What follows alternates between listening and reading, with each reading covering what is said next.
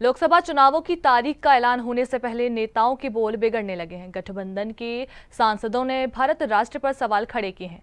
सनातन धर्म पर भी हमला बोला गया है। भाजपा राष्ट्रीय महामंत्री ने कांग्रेस और गठबंधन को आड़े हाथ लिया। आगरा के कोठी मीना बाज़ार मैदान पर सात मार्च को भाजपा अनुसूचित वर्ग का महासम्मेलन होगा। जायजा लेने के लिए भाजपा के राष्ट्रीय महामंत्री तरुण चुगाए सम्मेलन की जानकारी देने के बाद मीडिया से बात करते हुए भाजपा के राष्ट्रीय महामंत्री तरुण चुग ने गठबंधन पर हमला बोला। सबसे पहले रडार पर आए सपा मुखिया, पूर्व मुख्यमंत्री अखिलेश यादव। इसके बाद निशाने पर थी कांग्रेस और दक्षिण के एक सांसद। अखिलेश यादव जी अपने गरीबा को झांके। अपने समय में, जिस तरह उनके समय में दलितों पर अत्याचार हुआ, आज यूपी उससे बहुत आगे बढ़ चुका है। अखिलेश यादव जी की जो सोच है अब यूपी उस पर कहीं भी खड़ा नहीं होता है। यूपी उनको आ, पीछे छोड़कर बहुत आगे बढ़ चुका। उनकी खटास पैदा करने वाली जहर गोलने वाली अब सोच चलने वाली नहीं है। अखिलेश यादव जी कभी कांग्रेस के साथ गले मिलते कहीं मिलते। अब उनका मुंगेरी लाल का हसीन सपना पूरा नहीं होगा।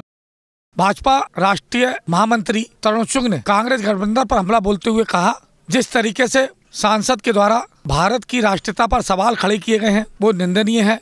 सनातन धर्म पर हमला बोला गया है, निंदनीय है। कांग्रेस को माफ़ी मांगना चाहिए। हमला बोलते हुए राष्ट्रीय महामंत्री तरुण चुग ने कहा, कांग्रेस और गठबंधन की ये आदत बन गई है कि सनातन धर्म पर हमला बोला जाए। तुरंत कांग्रेस को इस पर पूरे देश से माफ़ी मांगनी चाहिए। और ये घटनाएँ बार बार हो रही हैं। इन घटनाओं से देश के अंदर करोड़ों और विश्व में बैठे करोड़ों हनुमान जी के भक्तों का, राम जी के भक्तों का, सनातन के प्रहरियों का दिल भी दुखा है और ये बयान राष्ट्र विरोधी भी है। सदियों से भारत एक राष्ट्र है। दुनिया की सबसे पुरानी पुस्तक, ऋग्वेद में भारत एक राष्ट्र है, इसका ज़िक्र है और हमारे डीएनए में, हमारे डीएनए के कन कन में भारत भारत, भारतीयता विराजमान है, ऐसे होछे बयान बंद कर ये सियासत है, नेताओं के बोल बिगड़ते हैं। जब नेताओं के बोल बिगड़ते हैं तो जवाब भी मिलता है। भारतीय जनता पार्टी हमलावर नज़र आ रही है। एक एक कर गठबंधन के नेता भारतीय जनता पार्टी के हाथ में मुद्दा देते जा रहे हैं। ऐसे में नेताओं को अपने बोल पर ध्यान रखना होगा, अन्यथा भारतीय जनता पार्टी ऐसे बोल को लपक लेती है। जब भी चुनाव आते हैं नेताओं के बोल बिगड़ना शुरू हो जाते हैं। गठबंधन के सांसद के द्वारा राष्ट्र पर सवाल खड़ा किया गया है।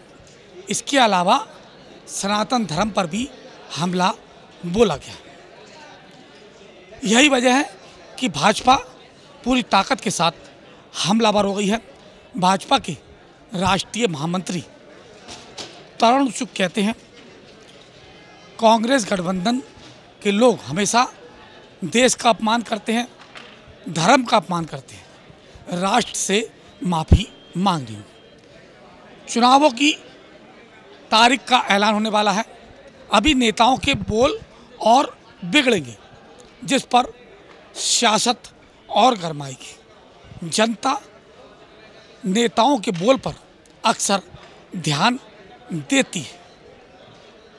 अपने साथी दुबे के साथ राकेश कनौजिया सी न्यूज़ आगरा। आगरा के सर्वाधिक लोकप्रिय चैनल सी न्यूज़ के यूट्यूब चैनल को सब्सक्राइब करें और हाँ बेल आइकन को प्रेस करना ना भूलें।